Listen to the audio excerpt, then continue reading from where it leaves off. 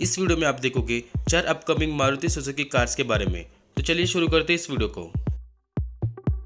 इस लिस्ट में सबसे पहले नंबर पर है मारुति स्विफ्ट हाइब्रिड। तो मारुति स्विफ्ट हाइब्रिड को कंपनी ने सबसे पहले 2020 ऑटो एक्सपो के दौरान पेश किया था, जिसमें कंपनी ने 1.2 litre dual jet K twelve C petrol engine दिया है और ये इंजन 91 पीएस का पावर और 118 एनएम का टॉर्क जनरेट करता है। ये इंजन 10 किलोवाट इलेक्ट्रिक मोटर के साथ आता है, जिस वजह से हमें इस कार में अच्छा माइलेज देखने मिल जाएगा और ये कार पूरी तरह से इलेक्ट्रिक मोड पर भी कुछ किलोमीटर तक की दूरी तैर कर सकती है।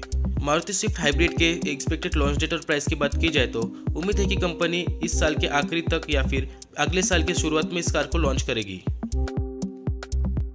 इस लिस्ट में नंबर दो पर है मारुति वैगनर इलेक्ट्रिक तो मारुति सुजुकी अपनी पहली इलेक्ट्रिक व्हीकल को भारतीय बाज़ार में इस साल के अंत तक या फिर अगले साल की शुरुआत में लॉन्च कर सकती है।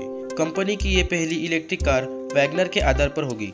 और इस गाड़ी के पहले से ही 50 प्रोटोटाइप मॉडल के अलग अलग मौसम और इलाकों में टेस्टिंग हो चुकी है। हालाँकि कंपनी ने इसके लॉन्च में थोड़ी देरी ज़रूर की है, लेकिन कंपनी इसे जल्द ही भारतीय बाज़ार में उतार सकती है।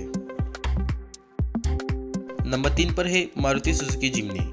भारत में सुजुकी जिमनी को 1.2 लीटर पेट्रोल इंजन के साथ लॉन्च किया जा सकता है, जो कि मारुति सुजुकी की स्विफ्ट और डिज़ायर के साथ और भी कई कारों में अवेलेबल है। इसके अलावा इस छोटी एसयूवी में कंपनी ऑल्टो के टेन में मिलने वाली वन लीटर पेट्रोल इंजन भी दे सकती है।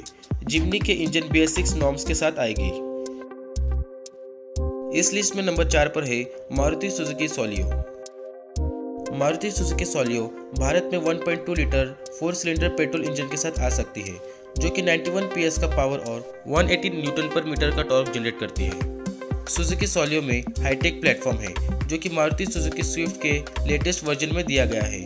लेकिन मारुति वैगनर के सेवन सीटर मॉडल को इस प्लेटफॉर्म पर नहीं उतारा जा सकता है, क्योंकि इससे गाड़ी की कीमत बढ़ जाएगी। इस लिस्ट में नंबर पाँच पर है मारुति सुजुकी फ्यूचरो ई। तो इस कार का इंटीरियर की बात करें तो इस कार में हमें काफ़ी मॉडर्न इंटीरियर देखने मिलेगा। इस कार के डैशबोर्ड पर बड़ी स्क्रीन दी गई है। फीचर स्टिक, स्टीयरिंग के आगे डिस्प्ले दिया गया है। जिसमें हमें ड्राइवर और इंटीरियर के लिए कंट्रोल्स दिए गए हैं।